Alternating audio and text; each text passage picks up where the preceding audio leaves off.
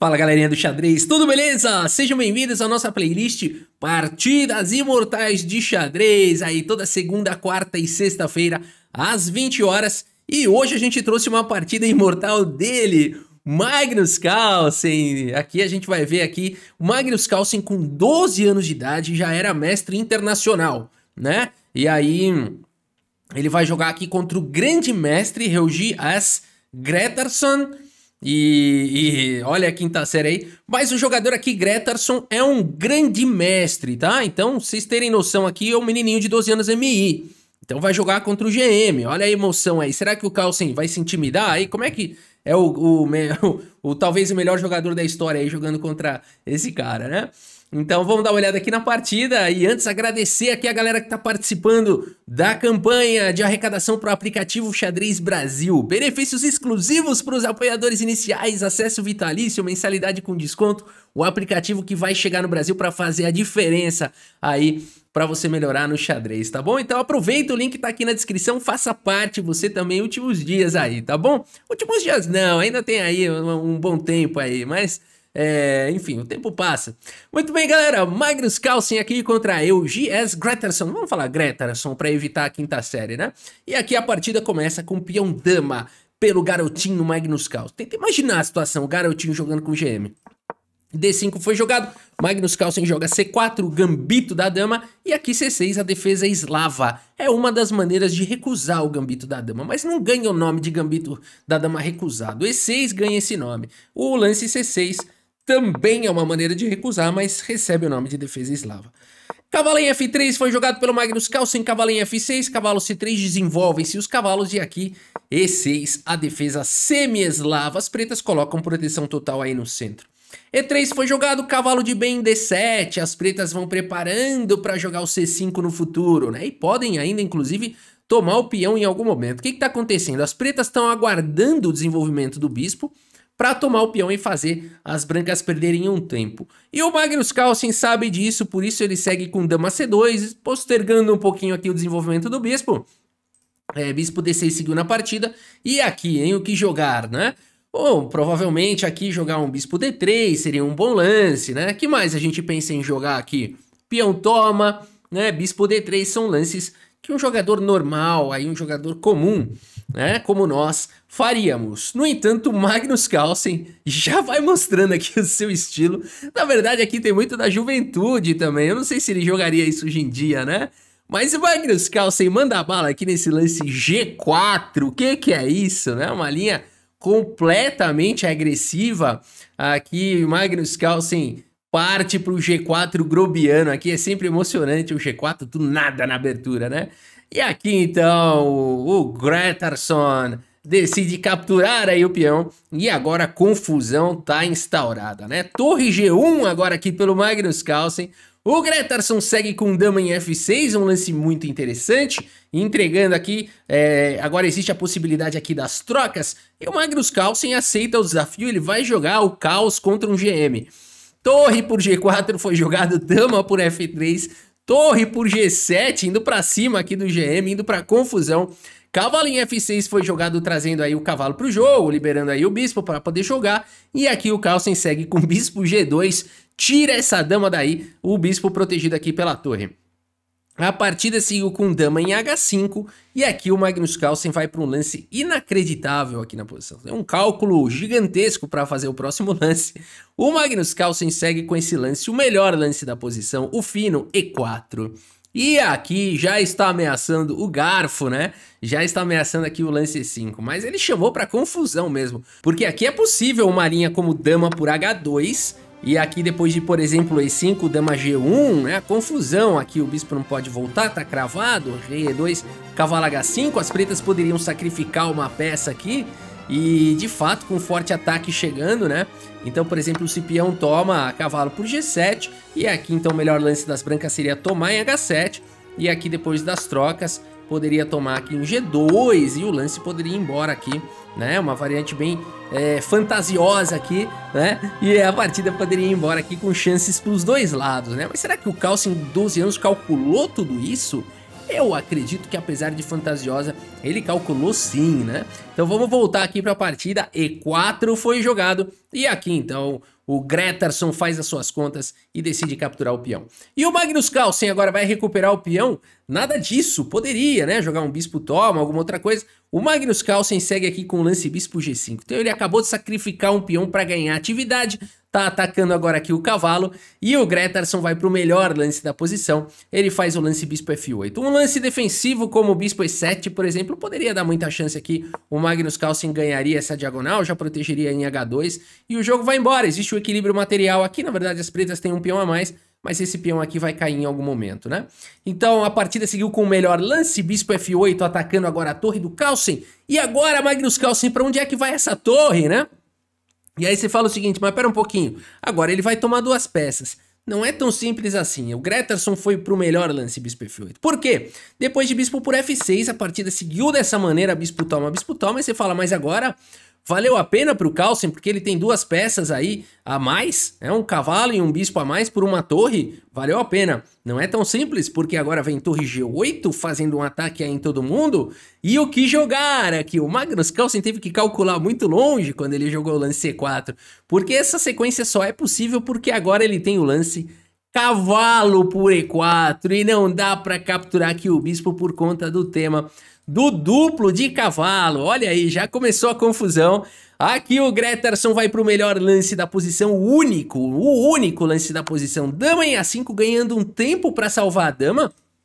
E agora as duas peças continuam atacadas. O Magnus Carlsen faz o lance rei F1 e agora a torre por G7. E de repente o Magnus Carlsen tem uma qualidade a menos aqui. E aqui o grande mestre pensou, pronto, garotinho danado, hein? Garotinho esperto, né? Mas aqui ele vai, vai ver só, né? Porque agora eu tenho uma qualidade a mais aqui. Só que é o seguinte, pessoal, Magnus Carlsen não terminou. Ele segue com o lance dama C1 agora, um lance brilhante, né? Você fala assim, mas o que, que é isso, dama C1? Ele tá de olho aqui agora nos ataques, aqui aproveitando para não dar tempo aí do rei se proteger. Então, não dá para jogar um lance como bispo D7, por exemplo, tá vindo dama H6, tá vindo dama F4, vários lances são possíveis e começam a existir um ata ataques nas casas escuras e as pretas vão ter problemas. Por isso a partida seguiu com dama D8, tentando compensar um pouquinho aí as casas escuras, e o Magnus Carlsen segue com o lance dama F4, e esse é o tema, né? Apesar aqui da qualidade a mais, as pretas têm dificuldades para proteger as casas escuras. Rei F8 foi jogado aqui pelo Gretarson, dama em E5 começa a colocar pressão em todos os pontos, torre G6 foi jogado, e agora o Magnus Carlsen segue com dama em H8 cheque, e depois de rei E7, dama por H7. A posição é perigosíssima, o Magnus Carlsen tem um peão a mais, uma qualidade a menos, e aqui é o seguinte, se o Gretarson conseguir soltar as peças, de alguma maneira é, ativar o bispo dele, né, trazer a outra torre para o jogo, Magnus Carlsen pode ter problemas aqui. E a partida segue aqui então com dama G8, né? Também seria possível tomar aqui em D4, no entanto é bem arriscado, porque o Carlsen teria um forte ataque aqui com dama H4, bispo F3 ameaçando torre D1, uma entrada ali de checkmate, e eu acho que o Gretarson preferiu evitar aí esses problemas, apesar de que ainda assim seria possível se defender, mas o Magnus Carlsen teria uma boa posição aqui, nada muito claro ainda, né? É, a partida seguiu com dama G8, o Gretarson faz o seguinte, eu tenho material a mais, uma qualidade a mais, Vamos trocar peça, senão eu vou tomar seu bispo aqui. E o Magnus Carlsen fala nenhum nem outro. Dama em H4, esse lance vem com cheque ganhando um tempo. F6 fecha a posição. Bispo F3 coloca o bispo em segurança. Magnus Carlsen pendurou a torre. Magnus Carlsen pendurou a torre. Nada disso. Bispo F3 é um lance simplesmente. Essa partida é inacreditável. É só o detalhe é, só, resumo é esse. Essa partida está sendo inacreditável. O menino de 12 anos o, o, que seria, né? E, o talvez o melhor jogador da história, campeão do mundo e tudo mais, mas aqui o MI, não, o grande mestre não sabe disso, o Greterson. E ele deve ter ficado maluco, porque aqui ele não pode jogar o lance torre G1, porque depois parece que ele ganhou aqui a torre, mas o Magnus Carlsen teria cavalo por F6, atacando a dama, ameaçando todo tipo de ataque descoberto, e o Magnus Carlsen teria uma torre e uma qualidade a menos nessa posição, mas ele estaria muito bem, por exemplo, o cavalo G4 cheque, o cavalo vem para E5, você fala, não, mas não é possível. É, o problema é o seguinte, é a dinâmica, né? Dama atacada, essas peças não conseguem jogar. Então, apesar aqui do Magnus Carlsen ter severo material a menos, ele tem um ataque muito forte com três peças, as únicas peças que ele tem para cima do rei, e o rei com apenas um defensor, né? Então essa é a chave aqui da posição. E aqui, de fato, não dá para defender. Uma hora ou outra, a dama, por exemplo, aqui já não tem mais casa, simples assim, a dama já não tem mais para onde ir, e aqui é muito material a mais, a torre tentaria voltar para o jogo e poderia seguir dessa forma, onde as brancas, apesar da questão material estar tá bem equilibrada, por conta do rei exposto do cavalo e a dama ainda indo para cima aqui, as brancas têm uma posição completamente vencedora. Vamos passar aqui um pouquinho mais, só para ficar muito claro, né? Aqui já ameaçando todo tipo de ataque, o bispo não consegue jogar, tá cravado. Aqui teria que entregar material, mas o Calcin ainda assim não precisaria pegar a torre e ficaria numa posição completamente vencedora, né? Por isso, que genial, né? Que genial o lance bispo F3. A partida seguiu aqui com E5, jogado agora pelo Gretarson. E o Magnus Carlsen segue aqui, ele não cai aqui na cilada, né? E5 dá um ataque descoberto aqui em C4, seria perigoso demais. O Carlsen simplesmente pega o seu tempo para fazer o lance B3, né? E no momento o Magnus Carlsen continua com uma qualidade a menos, pressionando aqui a casa escura. E por D4 seguiu na partida. E aqui como seguir, né? O Magnus Carlsen na maior tranquilidade joga cavalo G3. Aqui você fala, não, aqui ele perdeu. Né? Cavalo G3 perdeu, nada disso. A partida segue com bispo G4 e aqui parece que o Greterson finalmente está conseguindo trazer as peças para o jogo. A torre abriu a porteira para ela. É, a torre fala, yeah, o bispo veio para o jogo, yeah.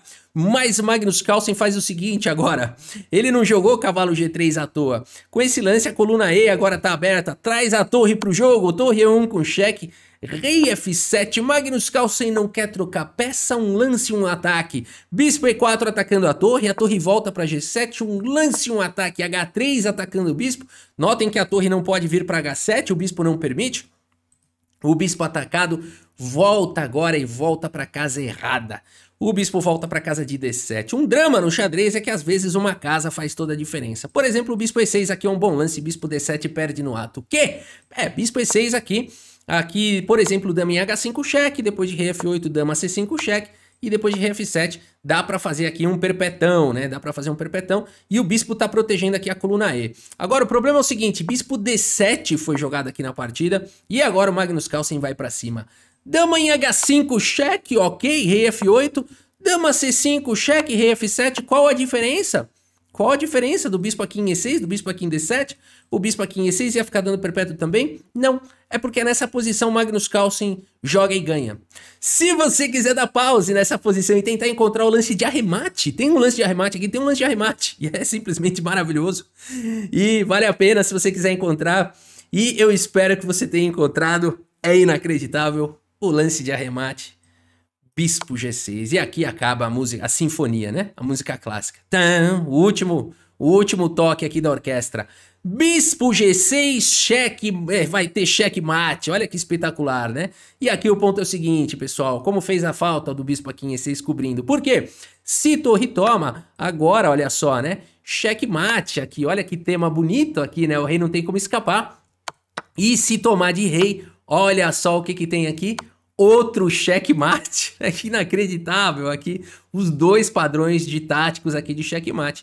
E por isso, depois de bispo G6, meus amigos, Gretarson abandona aqui a partida. Uma imortal do Magnus Carlsen, um mestre internacional de 12 anos que viria, claro, ser o campeão do mundo, que viria, claro, ser, se não o maior jogador da história, um dos maiores jogadores da história, com certeza, né? Então tá aí na nossa playlist de partidas imortais aí de xadrez. Espero que você tenha gostado aqui da partida e do vídeo. Se você gostou, inscreva-se aqui no canal. E é isso. Muito obrigado pela sua audiência. Um grande abraço para todos vocês e até a próxima. Valeu!